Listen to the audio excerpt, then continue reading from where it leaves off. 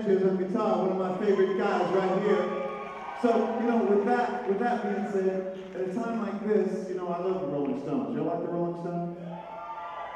Yeah. And so, you know, everybody needs a little shelter, right? And the homeless vets, they ain't got nowhere to live, so I'm just gonna put that out there for you. Some by the Stones that I'd like to play before I bring out my very, very special guest. A little song by the Stones called Gimme Shelter. Is that? Sammy Sanchez on guitar.